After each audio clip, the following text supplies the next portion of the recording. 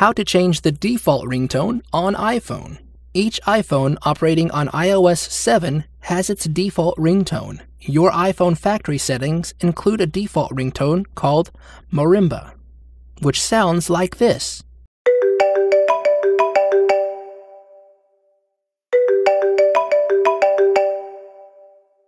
Fun, but once you've got enough of it and want to change Marimba to a new default ringtone, here's how to do it. Tap the Settings app and tap Sounds.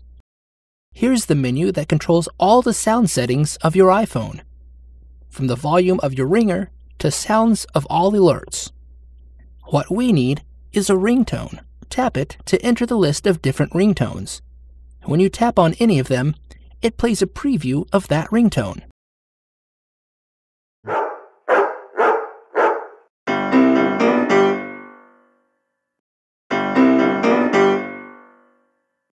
When you have found the ringtone that you like, it will stay marked with a tick after you've played it. The new ringtone is set. Tap the home button to invoke the home screen. Now when a person calls us, we hear the new ringtone.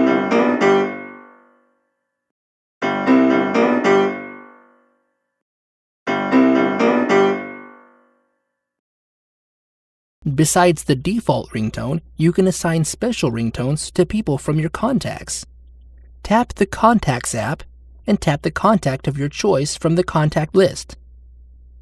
Tap Edit and then tap Default near the ringtone. It will invoke the already familiar list of ringtones. Tap to choose the ringtone and then tap Done. Now, when this person calls you, a specially assigned ringtone will play. If any other people call you, your new default ringtone will play. Last but not least, you can also assign different SMS ringtones. Go back to the Sounds menu and tap Text Tone. Instead of the default factory tritone, let's choose something more spicy. Great! Now you know how to change the default ringtone, default SMS tone, and even more. This was a HowTech tutorial. Like us on Facebook, love us forever, or leave us a comment here in the fields below. Thanks for watching.